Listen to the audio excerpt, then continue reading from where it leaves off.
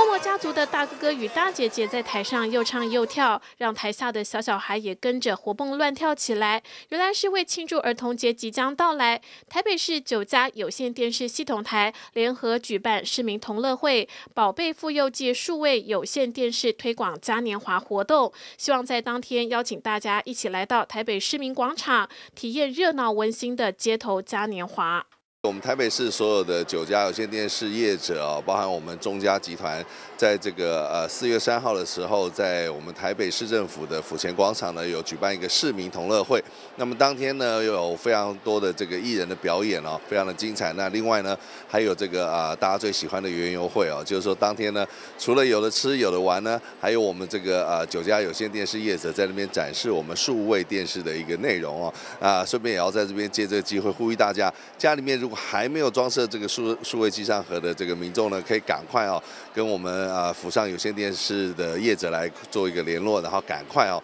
把我们的家里面的电视呢升级为这个数位电视。活动当中，除了准备气垫乐园，还有原油摊位之外，主办单位还邀请到艺人郭子乾担任活动主持人。郭子乾不忘在记者会上大秀模仿功力，把台北市长柯文哲模仿的惟肖惟妙，也立刻引来大批民众围观。哎，大家都知道，哎，我这个哦，虽然呢上任到现在哦，我来台北市政府，我我大概每天都有来，大概五分钟到十分钟我就出去巡视，每天都在嗡嗡嗡了哦，哎。好像上任哦，一百天刚好是四月三号，有一个市政的这个市政检验，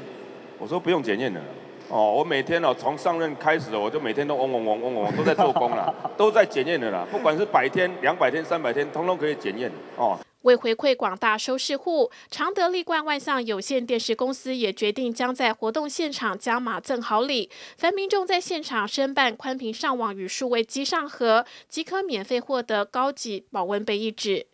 记者刘德瑜台北报道。春天就是要摆脱负担，换装 BB 两年最多省三千三，一百二十枚每月八八八，还加赠换装金两千元哦，比比 BB 比较好。